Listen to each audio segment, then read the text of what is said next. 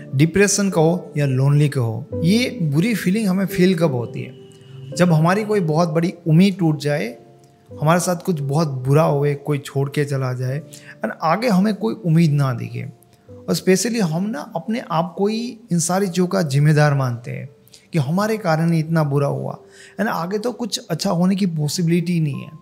तब आपको बहुत ही बुरी ऐसी सारी चीज़ों की फीलिंग आती है। इनसे निकलने का ना एक ही तरीका होता है कि भाई जो हम अभी फील कर रहे हैं, उन चीज़ों को जानना कि ये सच है। एक्चुअल में क्या है कि हमारे शेडो की तरह है।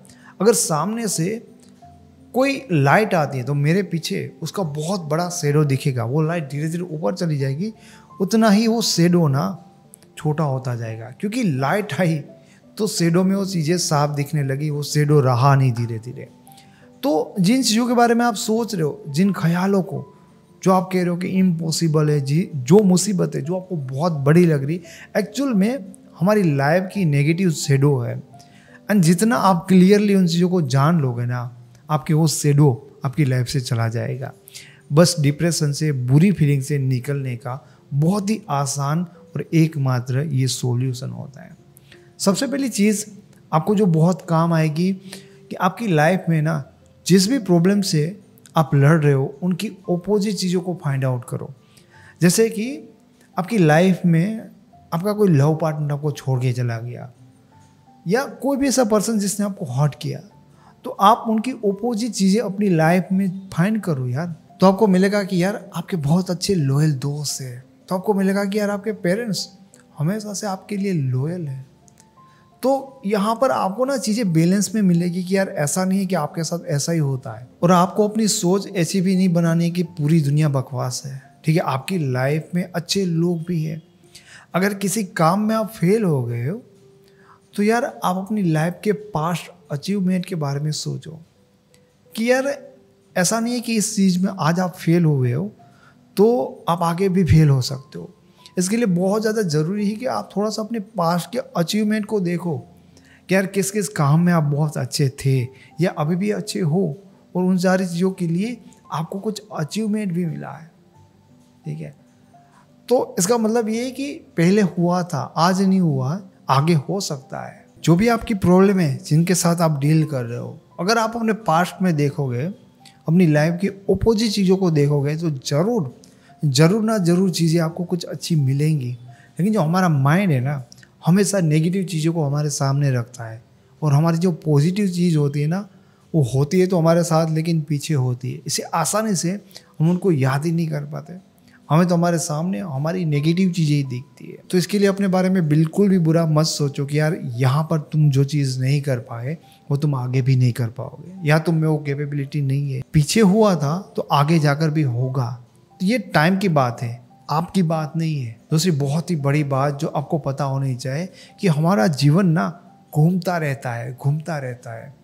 अभी जो प्रॉब्लम है या अभी जो सिचुएशन है, वो कभी भी हमेशा के लिए नहीं रहेगी। क्योंकि अभी हम यही सोच रहे कि यार, आगे कुछ होगा ही नहीं। क्योंकि आगे हमें कोई उम्मीद ही नहीं दिख रही है। अगर आप इन सारी चीज़ों को समझना चाहते हैं कि हमारा जीवन, हम सबका जीवन घूमता है तो आपको ना दुनिया में जितने भी महान लोग हैं, उनके बारे में पढ़ना चाहिए उनकी बायोग्राफी रीड करनी चाहिए ताकि आपको भी पता चलेगा कि यार उन लोगों ने भी अपनी लाइफ में बहुत सारी प्रॉब्लम को फेस किया है, फिर भी अपने जीवन को इतना ज़्यादा सफल बनाया है। स्पेशली आप अपनी लाइफ में अगर किसी प्रॉब्लम से डील कर रहे हो और तब किसी व्यक्ति की बायोग्राफी पढ़ते हो तो आपको कुछ ना कुछ ऐसी चीज़ें मिलेगी जो आप वहाँ पर रिलेट कर पाओगे। कि उनकी लाइफ में जब ऐसा टाइम आया था, तब उन्होंने इन सारी चीज़ों को कैसे डील किया था? उन्होंने उन परिस्थितियों में इन सारी चीज़ों के बारे में क्या सोचा था? क्योंकि जब आपको ये पता चलेगा कि दुनिया में बहुत सारे लोग हैं जिन्होंने ऑलरेडी ऐसी सिचुएशन को फेस करके भी अपनी लाइफ को सफल बनाई है तो आपको ज़रूर उम्मीद मिलेगी, उसके साथ ज़रूर एक मोटिवेशन भी मिलेगा। तीसरी और मोस्ट इम्पोर्टेंट चीज़ जो आपको पता होनी चाहिए it is time not you अगर आज का जो आपका परफॉर्मेंस है, उसके बेस के ऊपर आप अपने आप को जज कर रहे हो कि नहीं, ये चीज़ मेरे से नहीं हो पाई। इस चीज़ में मैं फेल हो गया। इट मीन्स कि मैं वो कर नहीं सकता। अगर कोई बहुत ही अच्छा क्रिकेटर अगर किसी मैच में ज़ीरो में आउट हो जाता है तो क्या हम उनके परफॉर्मेंस को ज़ीरो परफॉर्मेंस कहेंगे? हाँ ऑफकोर्स उस दिन के उनके परफॉर्मेंस को हम ज़ीरो परफॉर्मेंस कहेंगे।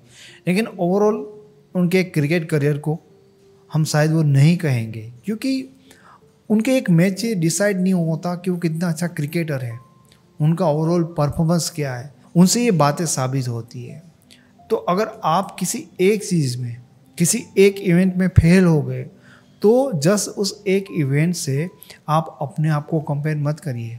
एक, आपकी उस एक इवेंट से आप अपने आप को जज भी मत करिए।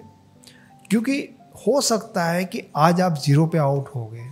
लेकिन आपके पास हर एक दिन है जो आपको हर एक नया मौका देता है, हर एक नया चांस देता है अपने परफॉर्मेंस को सीख कर वापस से सही करने का। लास्ट और सबसे इम्पोर्टेंट चीज़ इस टाइम पे जो आपको पता होनी चाहिए कि यार, आपको अपने आप पे विश्वास रखना है कि आप चीज़ों को बदल सकते हो। स्वामी विवेकानंद ने इसके बारे में बहुत ही अच्छी बात बोली थी कि अपने आप को कमज़ोर समझना, ये बहुत बड़ा पाप होता है। तो अगर आपको ऐसा लगता है कि आप नहीं कर पाओगे, या आप में वो काबिलियत नहीं है तो आप अपने साथ बहुत ही ज़्यादा गलत कर रहे हो। इस दुनिया में सबसे ज़्यादा अगर आपकी कोई ऐसे सिचुएशन में निकलने की मदद कर सकता है, वो होते आप खुद। एंड जब आप अपने ऊपर ट्रस्ट करोगे ना तो वो चीज़ आप कर पाओगे। अगर आप अपने ऊपर ट्रस्ट नहीं कर रहे हो तो आप अपने आप की ही हेल्प नहीं कर पा रहे हो। एंड उसके बाद दुनिया का कोई भी एक्सपर्ट आपके सामने क्यों ना आ जाए? वो आपकी कोई हेल्प नहीं कर पाएगा, अगर आप रेडी नहीं हो खुद की हेल्प करने के लिए। एक बार आपका ये ट्रस्ट आ जाए कि नहीं, आप भी वो चीज़ें कर सकते हो, भले आप कितनी बार फेल हुए भले आज आपकी सिचुएशन कितनी भी बुरी हो, लेकिन आप इन चीज़ों को सीख कर अपने साथ एक्सपीरियंस लेकर इन चीज़ों को फिर से ट्राई करके सही कर सकते हो। तो आपका आत्मविश्वास आपको वैसा बना देगा। एंड स्पेशली जब आप अपनी लाइफ में फेल होते हैं, तब सबसे ज़्यादा आपको ज़रूरत होती है अपने आत्मविश्वास की। खुद के ऊपर अपना वो भरोसा कि नहीं, इन चीज़ों को आप बदल सकते हो, अगर आपको ये भरोसा है तो डेफिनेटली आप किसी भी परिस्थिति को बदल सकते हो। मैं उम्मीद करता हूँ कि आपको वीडियो पसंद आया होगा। वीडियो अच्छा लगा तो इसे लाइक करें, ऐसे वीडियो और देखना चाहते हो तो चैनल को फ्री में सब्सक्राइब करें। Thank you so much